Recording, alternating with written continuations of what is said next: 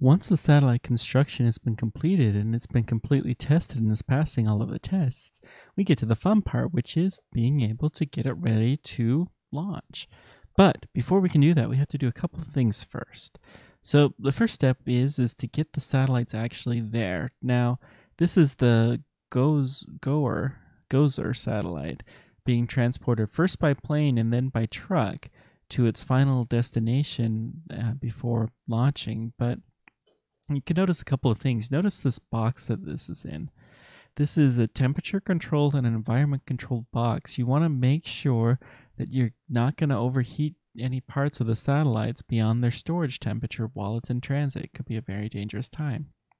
You also want to make sure that you're not going to have any debris or anything. You want it to be at least as clean as the environment in which you built it.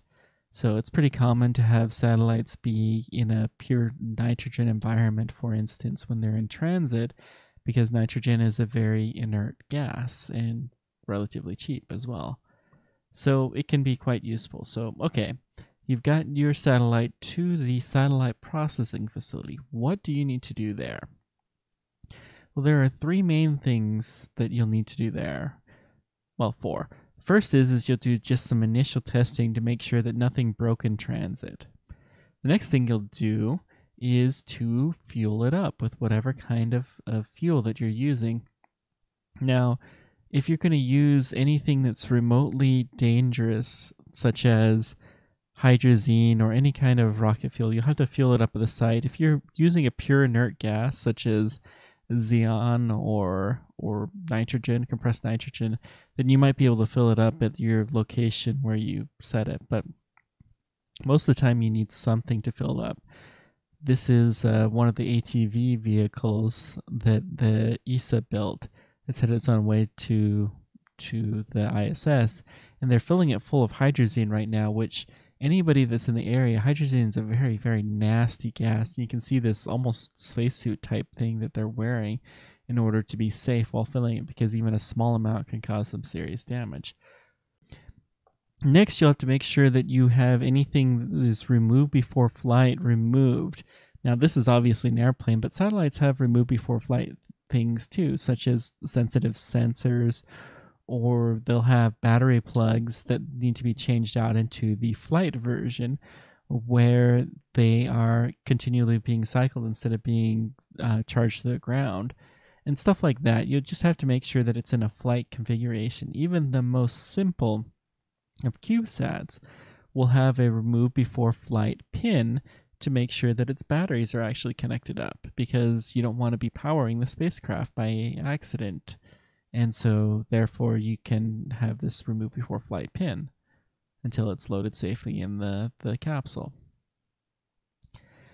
Next, you'll want to mount it to whatever kind of ring that you're you're using, your launch ring. You can see this is the launch ring that this particular satellite is being launched on. This is a Cygnus space capsule that's being launched to resupply the International Space Station.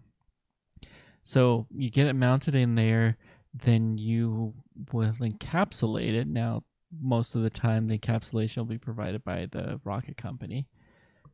In fact, that's almost always the case. And then you are ready to launch.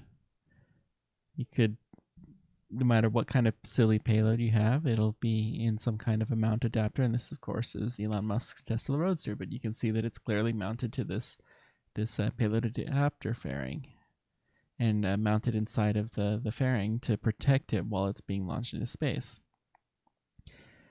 Once it's mounted in the fairing, there's still your work isn't done. You'll have to carefully monitor the battery voltage, and they will provide ways to do this. Now, if you have a CubeSat, you're not going to be able to do this. The CubeSats are not connected up to the satellite in any way, usually. But for larger satellites, they are connected, and you will want to make sure that the batteries are topped off and ready for launch to the launch site or launch to space. So, okay, you have everything set to go. You'll participate in whatever kind of test. If they do a static fire like Falcon 9 does, or whatever kind of test they do, you'll participate in them, make sure that everything's okay. And then finally, you get to launch it into space. And then we enter into the next phase of operations, which is the, the initial on orbit checkout phase. But we'll talk about that in the future. Thank you very much for joining me on this journey. Let me know whatever questions or comments you have. And until next time, keep on tracking. This is Ben Pearson, the Roadster Tracker.